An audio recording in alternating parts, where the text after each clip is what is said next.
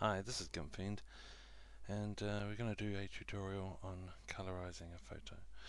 It's uh, quite a common technique and really easy to do, to do. So this is how I'm going to do it. so we'll just close this down. This is my original image. Uh, I took this from a train so I'm just going to go to filters, enhance, sharpen and OK. Again, this was just taken with my Ixus 500, quite an old basic digital camera. Okay, so that's done. So I'm just going to flatten the images down.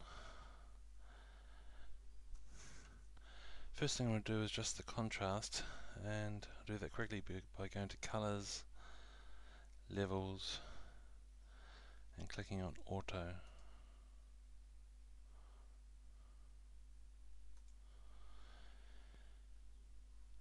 To duplicate the image. Right mouse click and add layer mask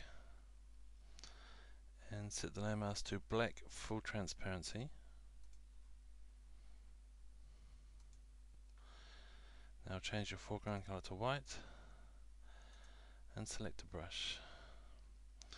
Now before I do that I'm just going to go to the background image and desaturate it so go to colors, desaturate, I'll just go to average and OK.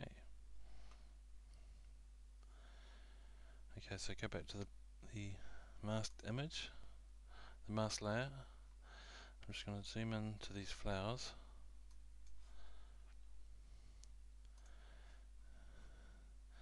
I'm going to select a hard brush initially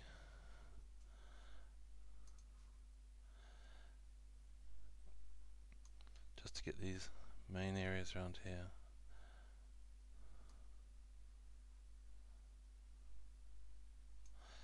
I'm going to change to a soft brush and reduce the size a little bit using the square brackets.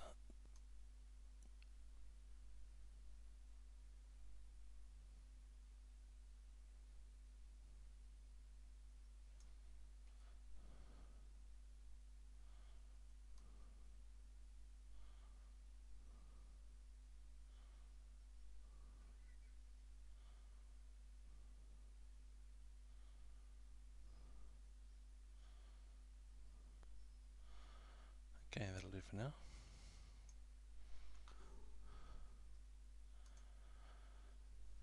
Go back to my layers and you see how this this the mask area is highlighted. I'm going to highlight the other area, the other side and go to colors curves cancel that colors curves red.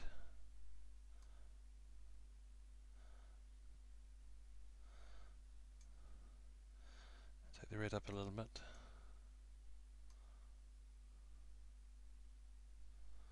The green.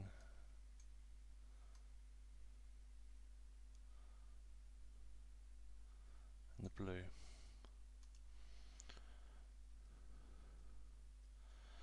Okay so I'm just going to flatten the image down and now go to the crop tool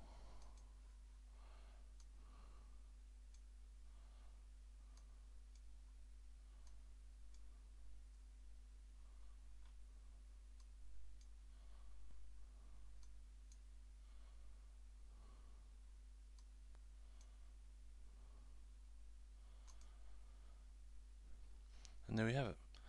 A very simple way of colorizing a photo. This is GimpFiend. Thank you for watching.